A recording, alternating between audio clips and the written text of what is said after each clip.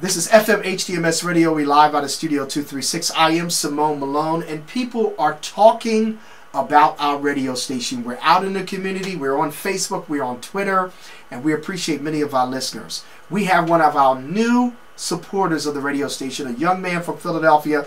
Tell us your name. Hi, how you doing? My name is Kyle, and I'm from Philadelphia. So glad you're from Philadelphia, man. How did you hear about our radio station? I'm from the social network Facebook. And that's a great thing, isn't it? Right. So, did you see the link? Did you see a photograph of the station, a photograph of Simone on Facebook? Um, I seen the link when I was scrolling through my phone, my cell phone. And can you tell us, Kyle, and to the viewers and listeners out there, what attracted you to FM HDMS radio? The inspirational moment. That's great. And was that inspirational moment given by yours truly, Simone Malone? Yes.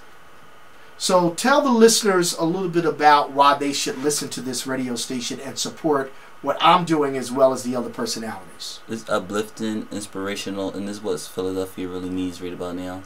Well, thank you so much, man. Can you do me a special favor? Yes. I want you to tell all of your family and friends about FMHDMS Radio. Share the link, and uh, you know, tell them that they can get real music with real harmony and real grooves. And can you do me another favor? Look into that camera lens and just speak to the people out there on Facebook and Twitter and tell them this is the station that they need to listen to. Check out FMHDMSradio.net, Facebook, social network. Good. Anything else you want to say?